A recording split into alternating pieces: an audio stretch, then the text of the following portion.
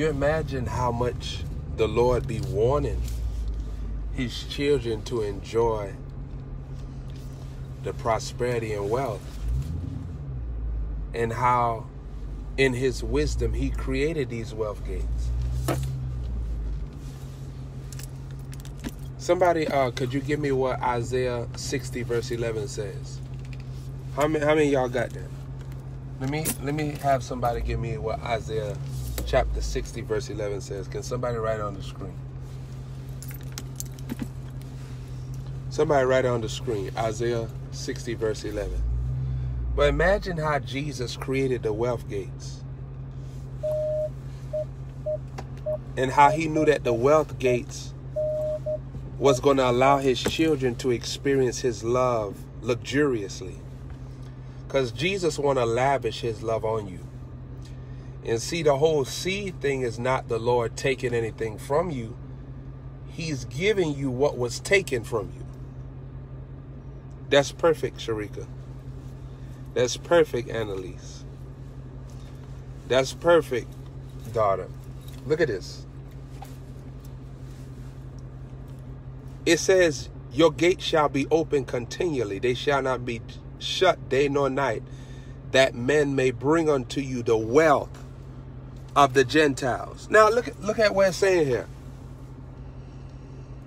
It says that your gate shall be open continually, they shall not be shut day nor night, that men may bring unto you the wealth of the Gentiles. This go in line with Luke chapter 6, verse 38, where Jesus said, Give it shall be given unto you, good measure, pressed down, shaken together, running over. These wealth gates are what the Lord is telling you going to come day and night. Say, Father, I receive my wealth gates. Saints, we preach in the Bible this stuff is in the Bible. You understand? Like this not a made up doctrine. It's in the Bible.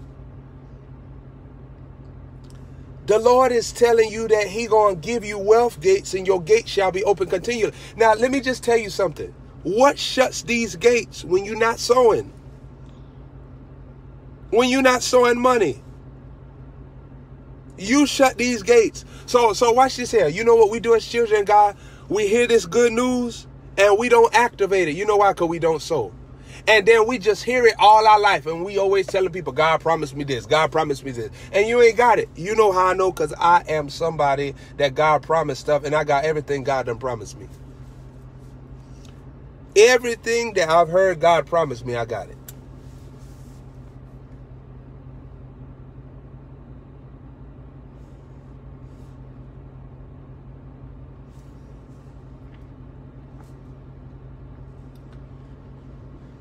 So if the gates can be open, it can be shut. And that's what I want you to see. If the gates can be open, it can be shut.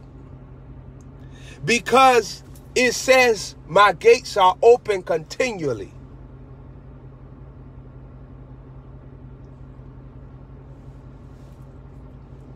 If the gates can be open it can also be shut and that's where the second heaven come in. Because the second heaven make you fearful about sowing. The second heaven make you miss financial invitations from god. The second heaven make you procrastinate until you eat the seed. Because procrastination is the governor of eating seeds. Oh my god. That's powerful. You never heard that before. That's apostolic I wish Ramirez was on here. Ramirez, are you on here? Huh?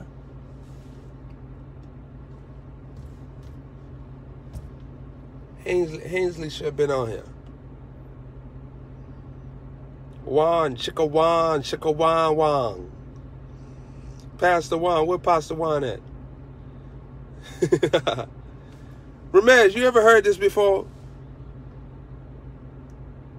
Procrastination is the governor of eating seeds. So procrastination make you eat the seed. Why? Because procrastination is really satanic contemplation, satanic meditation. So in the moment that you're in procrastination, you're actually entertaining a demon spirit. The demon spirit is interesting to you. You can't procrastinate until a demon catches your eye. A demon has to become the apple of your eye, the apple of your conversation, before you can ever procrastinate. Procrastination means that you're enjoying something that Satan is saying. Satan is a charmer. But that's why God said, put on the whole armor. See, when I sow, I stop the charming realm of Satan. Now, watch this. I don't know if y'all know this, but I know this as a prophet. Witches use they use charms as a form of their satanic powers. I don't know if y'all know about this, but you'll be enlightened by it. They use charms. When people go to witch doctors and try to do different stuff, they use charms to release satanic powers, satanic uh, curses. Now, when you are a sower, you break the charming realm of Satan. My God. Jesus. When, when you sow, you break the charming realm of Satan. So, so where he like to charm you and make you seem like, hey, what he telling you is good news. You know, he say, because Satan will act like he trying to save you financially when he tell you not to sow.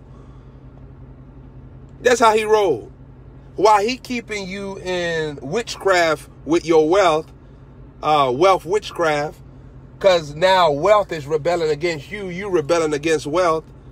Because when you don't sow, you rebel against wealth. When when you sow, you rebel against poverty. The seed is rebellion against lack. So to the spirit of lack, when you a sower, you a witch.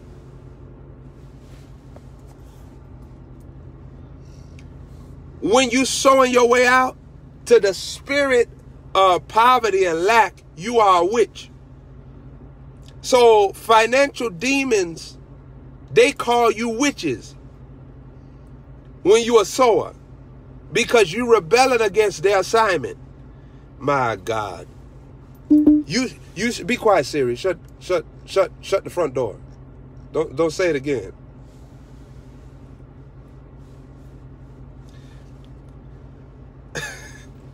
When you're sowing, see, she got Jezebel spirit on her, trying to come cut me off. When you're sowing, you become the witch to financial angels, for financial demons rather. And they hate you with a passion because you're rebelling against their demonic assignment to shut money down. If you trust God, let God make you rich. Let him make you rich and don't go halfway with the seed, don't go halfway with honoring God. Go all the way in. Because, saints, let me tell you something. There's some people that don't even got no prayer life, but their seed got a greater voice than people that's in prayer. You heard what I said? There's people that, watch this here. There's people that don't even got a prayer life where they talking with their mouth all the time. But their seed got a greater weight in talking to God than people that are actually in prayer. So their seed is louder. And the seed is communicating to the Lord, I'm ready to live this blessed life, this rich life, this wealthy life. so when you're a sower,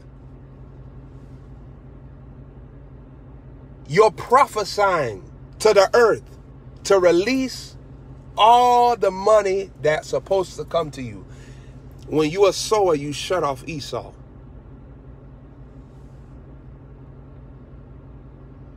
You shut off Esau. You shut off all the blessing snatchers. When you are sower, you shut off Esau. And Herod can't cut your head off. You cut his head off. You cut him and his family head off. Because Herod is a spirit of intimidation for you not to get rich, for you not to get wealthy. But when you are sower, you shut off the whole family of Herod and Pharaoh. Your seed will create the Red Sea to be divided for you and be collided for your enemies. They'll drown in the Red Sea. And saints, lack is your enemy. Debt is your enemy. uh, budgets is your enemy. You're not supposed to have no budget as a child of God. Saints, I, uh, the meetings that I've done, I've never had a budget at my meeting. I've never had people gather to pray that we'll have finances for a Welcome Holy Spirit Fire Conference. I've never done that. Not one time. Not even when I started doing the conferences. I, I never did that. Not one meeting did I ever have intercessors praying for finances because I'm a sower. So as a leader, I'm sowing. So I got the money anointed on me because I'm honoring God. So I don't live by budgets because budgets won't let you budge. When God speak to you, you ignore him. When you got budgets, budgets won't let you budge. That's uh, see your heart get hardened, uh, and then you get a pink eye like James Harden. That's